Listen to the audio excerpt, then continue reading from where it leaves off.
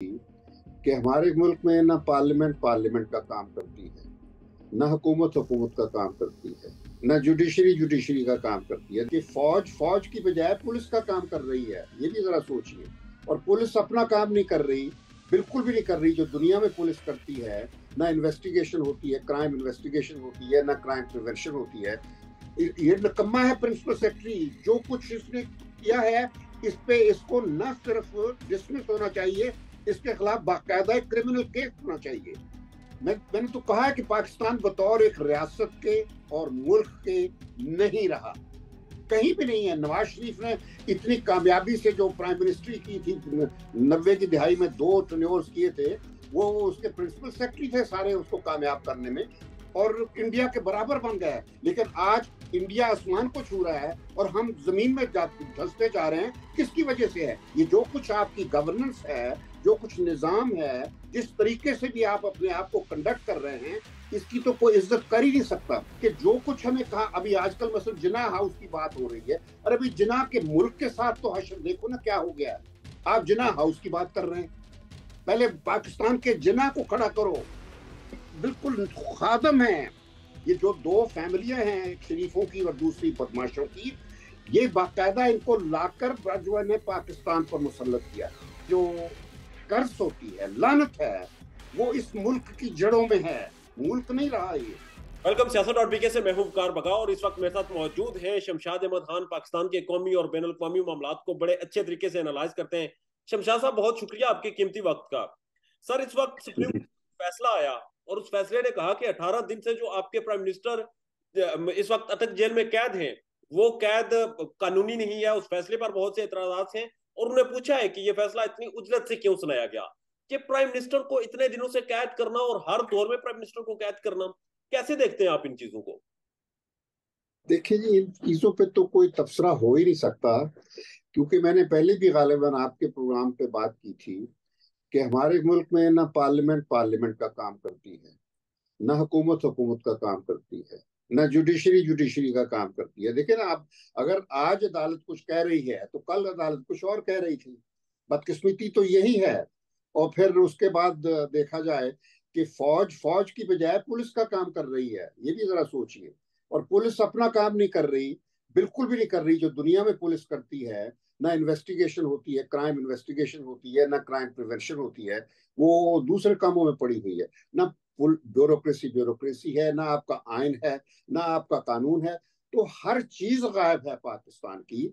ये ऐसा इतफाक हुआ है कि एक पिलर रह गया था, जो पार्लियामेंट का एक पिलर होता है, प्रेसिडेंसी, उसको भी इन्होंने बेमानी बना दिया है और वो ब्यूरोक्रेसी को इस्तेमाल करके। यानी ये जो चीज़ें होती हैं बाद लोग कहते हैं कि जी उसको हर चीज़ लिख के देनी चाहिए ये तो प्रेसिडेंट या प्राइम मिनिस्टर का काम नहीं होता कि वो अपने स्टाफ के साथ इन राइटिंग कोई बात करता है। अरे भाई ये सारा जो दफ्तर होता है इतनी ब्यूरोक्रेसी वहाँ अपॉइंट की जाती है। एक बाईस ग्रेड का बंदा होता है वो चाहे प्रेसिडेंसी हो या प्राइम मिनिस्टर का दफ्तर हो काम तो सारा वो चलाते हैं। वो, वो तो बात ये जो प्राइम मिनिस्टर प्राइम मिनिस्टर और प्रेसिडेंट होते हैं वो तो उनके जो एड्रेस कंसर्न्स होते हैं वो नेशनल लेवल पे होते हैं। वो अपनी ब्यूरोक्रेसी चलाने के लिए नहीं होते हैं। ब्यूरोक्रेसी का मकसद ही उनको देना ये है कि वो उनका सारा वो काम करेंगे। उनसे सिर्फ़ वर्बली पूछ लें कि आप क्या चाहते हैं, बाकी लिखा तो हर चीज़ वो जाता है प्रिंसिपल सेक्रेटरी करता है। यानी मुझे याद है, हमारे जमाने में प्राइम मिनिस्टर हमेशा वर्बल जवाब ऑर्डर देता था अपने प्रिंसिपल सेक्रेटरी को, और वो फिर लिख के भिजवाया करता था prime minister has pleased has been pleased to approve it has been pleased to say no has been pleased to say वो लिखता है तो ये जो ब्यूरोक्रेसी को बीच में, ये नकम्मा है प्रिंसिपल सेक्रेटरी जो कुछ इसने किया है, इस पे इसको न सिर्फ़ डिसमिस होना चाहिए, इसके खिलाफ बाकायदा क्रिमिनल केस होना चाहिए। शमशाद साहब, मुझे समझा दें कि प्रेसिडेंट हाउस हाईजैक था, वहाँ पे प्रेसिडेंट के कोई इख्तियार नहीं थे, उनकी मर्ज़ी से के बगैर बिल आ रहे बिल जा रहे हैं उन्हें पता ही नहीं है कि बिल के साथ क्या हो रहा है। यही यही तो मैं कह रहा हूँ ना कि ये ब्यूरोक्रेसी ने उसको वो किया हुआ था, एक तरफ़ से वो मिलिट्री सेक्रेटरी होगा, दूसरी तरफ़ प्रिंसिपल सेक्रेटरी, ये दो सेक्रेटरी होते हैं, बाकी तो नीचे के लोग तो कुछ नहीं करते। अगर वो दूसरे लोगों ने किया तो फिर तो ये सारा, वो तो बात ही वो हाँ आ गई, मैंने कहा ना कि आपका कोई इदारा काम कर ही नहीं रहा। पार्लियामेंट पार्लियामेंट का काम नहीं कर रही है, हुकूमत हुकूमत का काम नहीं कर रही है। यानी कोई चीज़ है ही नहीं कारकर्दगी तो ये रियासत तो रही नहीं है। ये रियासत नहीं है पाकिस्तान अब। तमाशा है। It's not even a banana republic banana republics में भी, अफ्रीका की बनाना रिपब्लिक्स में कुछ थोड़े बहुत कानून होते हैं। यहाँ तो कोई चीज़ है ही कुछ नहीं। ये बिल्कुल बदकिस्मती ये है कि ये एटॉमिक मुल्क होने के बावजूद यहाँ पर ये कुछ हो रहा है। और दुनिया में एक तमाशा है लेकिन मैं बताऊँ ये ज़्यादा देर नहीं रहेगा। बहरहाल शमशाद साहब एक चीज़ मुझे समझा दें। माजी में कभी इस तरह हुआ कि जिस तरह प्रेसिडेंट हाउस को इस दफ़ा हाईजैक किया गया जिस तरह वहाँ पे ब्यूरोक्रेसी को इस्तेमाल किया गया और ब्यूरोक्रेसी ने सदर के अख्तियार को अपने तौर पे ही मुतल कर दिया और सब कुछ पहले भुट्टो के भुट्टो के जमाने में होता था। भुट्टो के जमाने में तो बाकायदा लोगों ने बोर्ड लगाए हुए थे प्रेसिडेंसी के बाद के सदर को रिहा करो। तो जो सदर होता था वो भुट्टो ने उसको कैद करके रखा हुआ था। ये जो सियासतदान इसमें और कोई जिम्मेदार नहीं है। इस मौजूदा सिचुएशन में भी सियासतदान है जिम्मेदार ये मैं बता दूँ। और से सियासतदान? गवर्नमेंट है। इस वक्त निगरान सेटअप है। क्या सेटअप है? तो निगरान सेटअप मैं कह रहा हूँ ये तो और भी निकम्मा निगरान सेटअप है। किस किस्म के निगरान है? इनको तो पता ही कुछ नहीं है। ये तो ला के बिठाए गए हैं। यानी एक सियासी ढोंग रचाया जा रहा है। तो ये बात दुरुस्त नहीं है इस किस्म की बातें नहीं होनी चाहिए बस ये है बात। साहब अगर ये सियासी डोंग है ये ना है लोग बिठा दिए गए हैं तो पाकिस्तान तो इसकी कीमत चुकाएगा फिर। तो, तो पाकिस्तान तो चुका रहा है। अरे भाई पा, पाकिस्तान में रह क्या गया मुझे बताइए। क्या रह गया है? मैं मैंने तो कहा है कि पाकिस्तान बतौर एक रियासत के और मुल्क के नहीं रहा। जो कुछ हमारे यहाँ हो रहा है या नहीं हो रहा उसकी बिना पर पाकिस्तान एक रियासत नहीं है बस ये है। अभी यानी ना ये अवाम की मर्ज़ी के मुताबिक इलेक्शन का कहीं इम्कान नज़र आ रहा है तो कोई चीज़ रह भी गई ना। ये तो एक, एक इलाका है जहाँ लिंग्विस्टिक और एथनिक बुनियादों पर राजधानियाँ बनी हुई हैं। एक पख्तूनखा है एक बलूचिस्तान है एक सिंध है और एक पंजाब है। और वो राजधानियाँ अब अपनी मर्ज़ी से चलाई जा रही हैं। जिस तरह कब्जा ग्रुप होता है तो ये सिचुएशन है आपकी, बस सीधी सी बात है। और कुछ नहीं है। शमशाद साहब जो सेक्रेटरी थे प्रेसिडेंट के वकार अहमद, उन्होंने तो अलहदगी का ऐलान किया, उन्होंने अपना मौकफ भी जमा करवाया, सारी चीज़ें। और यह मकबूल जान लिखते हैं, जो आपने बात की पहले भी, कि ये सेक्रेटरी का अख्तियार होता है, उसके पास कोई वर्बल ऑर्डर नहीं होता, वो जाता है, बस उसे पूछ के आ जाता है। और वो खुद ही फिर आगे ऑर्डर पास करता है। तो इस तरह से नहीं यही तो मैं कह रहा हूँ कि देखिए प्रेसिडेंट जो होता है वो इसी तरह ऑर्डर दिया करता है और हर चीज़ राइटिंग जो होती है वो सेक्रेटरी किया करता है। उसकी उसका फ़र्ज़ है क्योंकि प्रेसिडेंट के पास प्रेसिडेंट या प्राइम मिनिस्टर ये ब्यूरोक्रेट्स का काम नहीं करते हैं।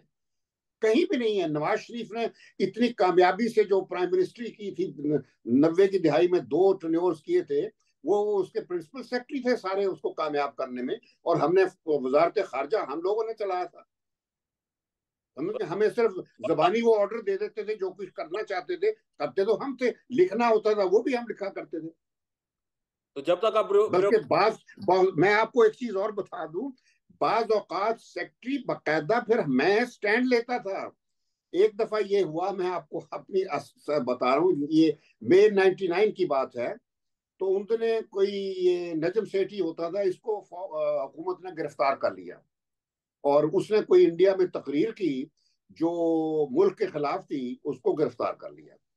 अब उसके बाद एक दिन मेरे पास नैब का, उस वक्त जो नैब होता था, नैब का चेयरमैन होता था, वो उनका सैफर रहमान, वो उस वक्त नैब का चेयरमैन होता तो उसका जो डिप्टी था, वो मेरे पास दफ्तर आया कि सर वो मुझे चेयरमैन ने भेजा है कि ये नजम सेठी को जो गिरफ़्तार किया इसके खिलाफ गद्दारी का मुकदमा करना है तो आप चूँकि इंडिया में तकरीर की है इसने दिल्ली में तो आप इसके खिलाफ एफ़ आई आर करें। तो मैंने कहा, मैं तो नहीं करूँगा। मेरा काम मुकदमे चलाना नहीं है, मैं फॉरेन सेक्रेटरी हूँ और ये वजारत खारजा है। मैंने कहा, आप जाओ लॉ मिनिस्ट्री में जाके करो जो कुछ करना कहते, चला गया। तो फिर वो सैफुर रहमान खुद आया। कहता है जी इसके खिलाफ ये बहुत गद्दार है नजम सेठी, और ये, वो तो ट्रीजन का मुकदमा आप ज़रूर चलाएँ, ये करें, मुझे प्राइम मिनिस्टर ने कहा है। मैंने कहा प्राइम मिनिस्टर को कहो, मुझसे बात करें। Prime minister never talk to me उसके बाद फिर कुछ दिनों बाद प्राइम मिनिस्टर का के साथ मैं एक ब्रुनाई दार इस्लाम और मलेशिया के दौरे पर चला गया। वापसी में आते हुए जहाज़ पे मुझे मौका मिल गया तो मैंने प्राइम मिनिस्टर से बात की कि ये क्या मज़ाक बना हुआ है। इस तरह जर्नलिस्टों को पकड़ के दुनिया में क्या आप अपना इमेज क्या पैदा कर रहे हैं? तो काफ़ी दिन से ये क्राइसिस चल रहा था तो मैंने उनको बैठ, बिठा के समझाया एंड आई कन्विंस्ड हिम मेरे आने के बाद उन्होंने फिर वो मुकदमा खत्म करवाया, जो भी करना था कार्रवाई करके नजम सेठी को रहा किया मैंने किसी से बात नहीं की कि मैंने ये कर दिया, वो कर दिया, ना नजम सेठी, हालाँकि मिलता रहता था उसके बाद, मैंने नहीं कहा क्योंकि मैंने तो अपना काम किया था। तो मैं हर काम जो होता है वो मैं जाके लोगों को बताता थोड़ा ही था कि भी मैंने ये किया है। तो मकसद ये है कि सेक्रेटरी का काम होता है कोई काम करने के लिए जो ज़रूरत होती है या ना करने के लिए ये सेक्रेटरी बताता है। अब ये जो आरफ अलवी है भाई प्रेसिडेंट है आपकी एक अलामत है मुल्क की जो आज़ादी की और डिग्निटी की आपने उसकी तजीक की है। इससे बढ़ के क्या हो सकती है कि प्रेसिडेंट के नाम पर पाकिस्तान की करेंसी चलती है। प्रेसिडेंट के नाम पर फौज आ, आ, काम करती है। फौज का कमांडर है वो सुप्रीम कमांडर है। प्रेसिडेंसी के नाम पर सारे सफीर दुनिया में काम करते हैं। प्रेसिडेंट होता है जो कि हर सेंक्शन में लिखा जाता है। I am directed to convey the sanction of the president कोई भी अखराज की मंजूरी है वो प्रेसिडेंट करता है। ये इन्होंने मज़ाक कर दिया है। ब्यूरोक्रेसी को साथ मिला के इस, इस किस्म के तमाशे कर रहा है। मुझे शर्म आती है इन बातों से। शमशाद साहब मुल्की सतह पर तो जो कुछ भी हो इस मामले से आइन बने एक्ट बने कानून बने या ना बने बहरहाल बैन अवी सतह पर क्या मैसेज गया है और पाकिस्तान की हैसियत में क्या फ़र्क पड़ा है इस हरकत के बाद? मैसेज बड़ा अच्छा गया है कि बड़ा अच्छा शिकार बना हुआ है पाकिस्तान हमारा। मैसेज क्या मतलब हुआ? उनको तो ऐसे ही मुल्क चाहिए। कि खाम खाम में उन, उन, उनकी सारी मर्ज़ी थी। नब्बे की दिहाई में उन्होंने हर मुमकिन कोशिश कर ली थी अमेरिका ने कि हम न्यूक्लियर टेस्ट ना करें लेकिन हमने उस वक्त पाकिस्तान के कौमी मुफाद में हम न्यूक्लियर टेस्ट किए और फिर न्यूक्लियर ताकत बन गए छठी न्यूक्लियर ताकत। और इंडिया के बराबर बन गया लेकिन आज इंडिया आसमान को छू रहा है और हम ज़मीन में धसते जा रहे हैं, किसकी वजह से है? ये जो कुछ आपकी गवर्नेंस है, जो कुछ निज़ाम है, जिस तरीके से भी आप अपने आप को कंडक्ट कर रहे हैं, इसकी तो कोई इज़्ज़त कर ही नहीं सकता। दुनिया को तो यही चीज़ चाहिए कि पाकिस्तान खत्म हो जाए, और वो कर रहे हैं आप खुद। नेहरू ने कहा था 1946 में कि जी ये नई मुल्क बनाने की बात कर रहे हैं। 1946 में भी पाकिस्तान बना नहीं था। कहता है कि अब दुनिया में बस सिर्फ़ चार बड़ी ताकतें होंगी। एक अमेरिका, दूसरा सोवियत यूनियन, तीसरा चाइना। अभी चाइना आज़ाद नहीं हुआ था।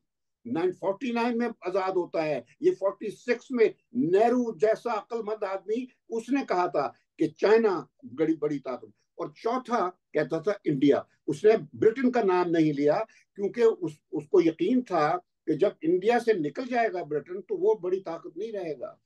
तो वो तो और उसने कहा था पाकिस्तान के बारे में कोई पाकिस्तान पाकिस्तान नहीं बनेगा ये एक कल्चरली ऑटोनमस एंटिटी के अलावा कुछ नहीं होगा। यानी एथनिक और लसानी बुनियादों पर एक ऑटोनमस एंटिटी होगी मगर रूल हुक्मरानी इंडिया की होगी। और वो इन, ना इंडिया को कुछ करना पड़ा वो हमने खुद कर दिया अपने आप को।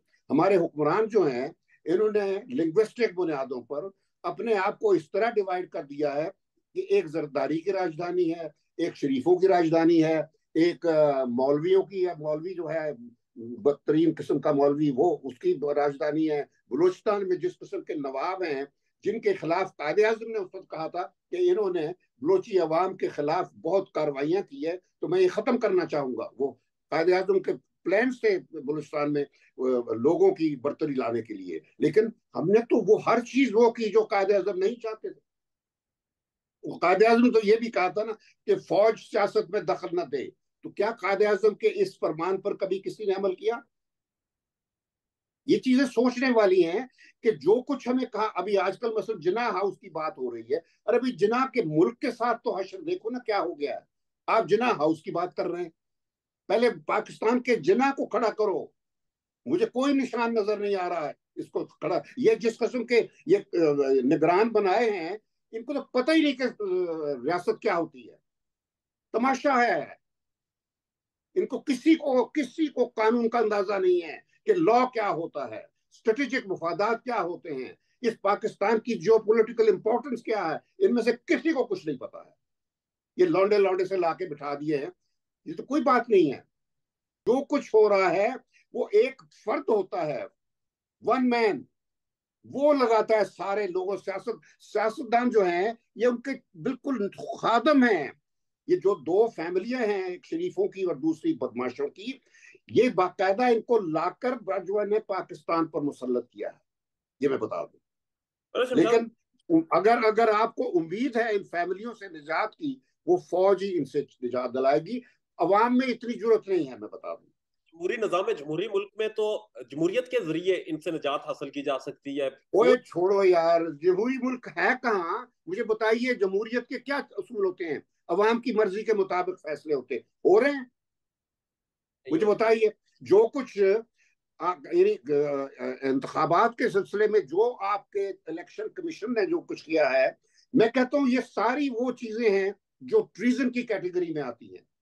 जो इलेक्शन कमीशन ने जो कुछ किया है, वो सब ट्रीजन किया है। आइन तोड़ा है उन्होंने। आइन की पामाली की है। और जिस तरीके से एक चलती चलाई हुकूमत थी, उस वक्त मुंतब हुकूमत थी, उसको उतारा है तो ये सारी चीज़ें जो हैं, ये जमहूरियत की नफी हैं। जमहूरियत किसी सूरत में भी पाकिस्तान में नहीं है, और ना होगी इन हालात। बहरहाल इन खानदानों से जिन्होंने पाकिस्तान पर कब्जा किया हुआ है, इनसे तो फौज जान छुड़ा लेगी। उस ब्यूरोक्रेसी से कौन जान छुड़ाएगा जिन्होंने पाकिस्तान को छिहत्तर साल में आगे नहीं बढ़ने दिया, सर? बस अब ये तो सवाल ऐसा है कि हमारे जमाने में तो ब्यूरोक्रेसी ब्यूरोक्रेसी का काम किया करती थी। अब मुझे बताइए कि मुझे एक नैब का चेयरमैन ये कहता है, मेरे दफ्तर में आके कि इस बंदे को ट्रीजन में तुम केस कर दो। तो मैंने तो उसको कह दिया था कि नहीं, ये तुम गलत कहते हो, मैं नहीं करूँगा। मैंने नहीं किया, बल्कि मैंने उसको छुड़ा दिया था। तो ब्यूरोक्रेसी काम करेगी। एक इदारे को नहीं आप कर सकते। अब जिस तरह अदलिया ने, देखिए ना, अदलिया ने के लोगों के मुकदमों के फैसले नहीं हो रहे हैं। मुझे ऐसा है कि कई दस दस, बीस बीस साल मुकदमे चलते हैं। लेकिन इनके पास ये गंदे फैसले करने के लिए ऐसा वक्त होता है कि ला के वो पिट्ठू बदमाश बिठा देते हैं, जिनकी वीडियोस तक चलती रहती हैं। तो ये तमाशा है। मुझे तो लगता ही नहीं कि हम किसी एक रियासत में रह रहे हैं। इट्स नो लॉन्गर स्टेट साहब no longer state no longer a country आप कहते हैं बाहर इमेज अरे भाई बाहर तो this is what they want हम चाह जो वो चाह रहे हैं हम कर रहे हैं।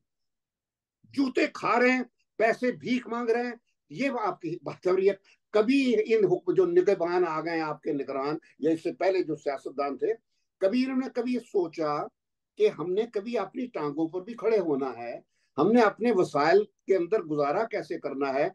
जिस तरीके से देखिए, अब ब्यूरोक्रेट्स के लिए गाड़ियाँ मंगाई जा रही हैं, खरीदी गई हैं, अरबों रुपया। यानी कोई सोचे इन लोगों से कि ये भूखे मुल्क, इस किस्म की बातें करते हैं। दुनिया में दुनिया में कोई मुल्क नहीं जहाँ पे लोगों को सरकारी खर्च पर ट्रांसपोर्ट दी जाए। तनख्वाह में अलाउंस होता है, वो आगे उसकी अपनी ट्रांसपोर्ट होती है। जो मर्ज़ी करे, बस से सफ़र करे ट्रेन से करे अपनी गाड़ी रखे रिक्शा जाए मगर सरकारी गाड़ियाँ नहीं मिलती। यहाँ तो हरी गाड़ियाँ जो हैं वो तमाशा बना हुआ है। मैं देखता हूँ यहाँ वो जिम में जाता हूँ तो वहाँ उनकी फैमिलियाँ जो है वो हरे नंबर प्लेटों की गाड़ियाँ औरतें लेके आ जाती हैं। तमाशा है सरकारी गाड़ियाँ। शॉपिंग के लिए भरी पड़ी हैं जा, जाते हैं। तो ये कोई असूल नहीं है। इंडिया में नहीं ये बातें हो रही। उसकी वजह है कि इंडिया पहले दिन से एक रियासत था। इंडिया ने आ, ये ये सोचने वाली बात है इंडिया ने पहले तीन सालों में यानी 47 से लेकर 50 तक अपना आइन बना लिया था। अपनी सारी रिफॉर्म्स कर ली थी एडमिनिस्ट्रेटिव फाइनेंशियल इकोनॉमिक और लैंड रिफॉर्म्स। उन्होंने अपनी सारी जो रियासतें थी उनको बड़े तरीके से अपना वो जो होता है मर्ज कर लिया था। हर चीज़ उन्होंने वो तीन सालों में मुकम्मल करके उसके बाद हर जब भी इंतखाब ड्यू होते हैं कभी उन्होंने पोस्टपोन नहीं इंतखाब। हमेशा हुकूमतें चेंज होती रही हैं इंतखाबात के ज़रिए से। हमने पहले we took nine years to frame our first constitution वो कॉन्स्टिट्यूशन जो आ, दो साल भी न रहा।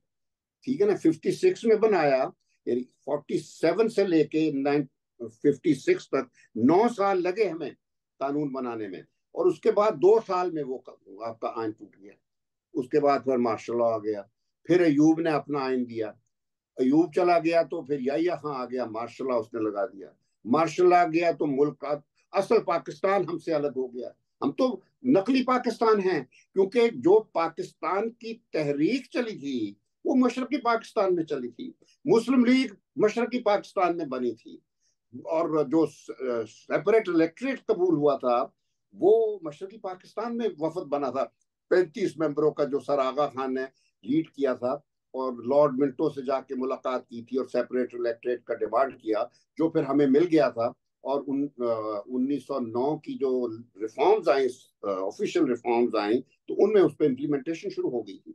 तो इस तरीके से फिर पाकिस्तान आईनी तरीके से एक अपनी मंजिल तक पहुँचा। लेकिन पहले कायदा आज़ादी के फ़ौरन बाद कायद आज़म ने देख लिया था, उन तेरह महीनों में, पहले तेरह महीने जिनमें कायद आज़म का इंतकाल हो गया तो उन्होंने देख लिया था कि जिनके मैं हवाले पाकिस्तान करके जा रहा हूँ, वो तो इस काबिल है ही नहीं।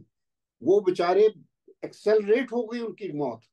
वो बजाय रहने के, उन्होंने कुछ साल रहना था अभी और उन्होंने खुद रखा था कि भी मैं गवर्नर जनरल खुद बन के ओवरसी करूँगा। वो तेरह महीने में फौत हो गया। और जिस तरीके से फौत हुए वो सब पता है कि मौरी रोड सड़क पर वहाँ पे क्या ड्रिग रोड पर उनकी एंबुलेंस घंटे पड़ रही तो हमने तो अपने जो फा, जिसको फाउंडिंग फादर कहते हैं हमने उसके साथ भी अब सितम किया हुआ है।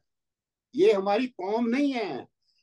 हम तो एक गलती हो गई है इनको, एक आज़ाद रियासत मिल गई। हम आज़ाद, न आज़ादी के मुस्तक हैं, क्योंकि हम न कानून जानते हैं, न कोई निज़ाम को समझते हैं, न आयन की हमें, आयन को मज़ाक बना लिया है। जिस तरह इलेक्शन कमीशन बैठा करता है। मैं तो कहता हूँ, इन लोगों पे ऐसे जज जिन्होंने कोई भी, जो आजकल भी ऐसे बात फैसले कर रहे हैं, जो ये इस सारे गंदे निज़ाम को चलाने के लिए, उन पे चीफ इलेक्शन कमिश्नर पे इलेक्शन कमीशन के मेंबरों पे, इन सब पे असूलन आयन के मुताबिक कार्रवाई होनी चाहिए। लेकिन कौन करेगा कोई नहीं करेगा। यहाँ आज तक कभी नहीं हुआ। मुझे बताइए कि जितने प्रिविलेज लोग हैं, उनको जितनी मर्ज़ी लूट मार कर ले, दुनिया में Pakistan is the only country where privilege people चाहे वो क्रिमिनल्स हो लूटर्स हो प्लंडर्स हो ब्लैक मार्केटर्स हो मनी लॉन्ड्रर्स हो मर्डर्स हो, उनको हमेशा बाय लॉ फॉरगिव किया जाता है। या पाकिस्तान में किसी मुल्क में ये नहीं होता, किसी का नाम एनआरओ दे दिया जाता है, किसी को नेशनल रिकन्सिलियेशन देता है, मसलहतों पे मुल्क चलता है। और ये मसलहतों का फैसला अफराद करते हैं इंडिविजुअल करते हैं।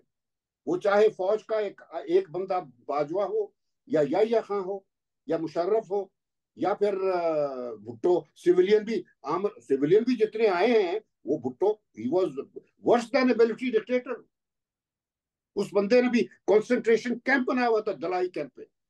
उसके बंद ऑर्डर हुक्म से लोगों को कत्ल किया जाता था। वसूद महमूद का नाम सबको पता है कौन था वो। उसने एक अपनी फौज बना ली थी।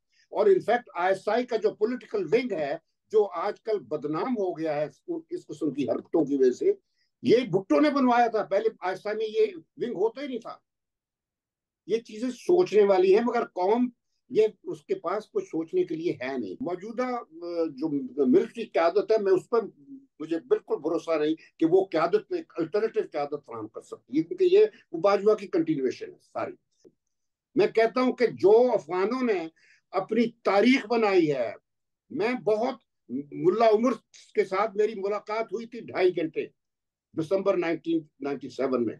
मैं गया था पीस की बात करने के दूसरे धड़ों को मल्टी को बनाए हुकूमत। तो उसने जो बातें की थी, मैं हैरान था कि ये देखो, और वो जितने उसके कमांडर थे, पच्चीस तीस बैठे। किसी की टांग नहीं थी, किसी का बाजू नहीं था, किसी का पूरा शोल्डर नहीं था। अजीब बात थी। मुल्ला उमर की अपनी एक आँख नहीं थी, लेकिन उसने कभी भी शिकस्त नहीं मानी। मुझे याद है, एक दफ़ा शहजादा, सऊदी शहजादा आया तो वो प्राइम मिनिस्टर ने हमारे बंदे को उसके साथ भिजवा दिया। वो, हम मीटिंग हुई मुल्ला उमर के साथ उसामा बिन लादन पर बात हो रही थी। वो वो प्रिंस तुर्की था। उसने कहा कि हमें मुल्ला उमर चाहिए, वो चाहिए, उसामा बिन, उसने कहा, मैं नहीं दूँगा, वो हमारा मेहमान है।